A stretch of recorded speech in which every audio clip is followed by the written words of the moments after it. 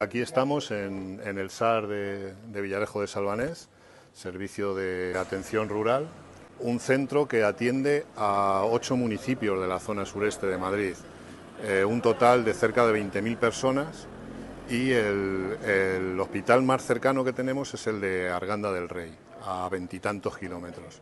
Y pueblos como Estremera, Brea, eh, Villamanrique, están a mucha más distancia, con lo cual este centro es vital para, la zona sureste de, Madrid. Eh, lo están desmantelando, igual que todos los demás, con el propósito de eh, abrir los, los que llevan más de dos años cerrados, eh, contratar más médicos y más personal sanitario. Entonces, ahora con la brillante idea, además, de asistir a la gente, atender a la gente con una videollamada, ¿no? que esto es, En urgencias. En urgencias, sí.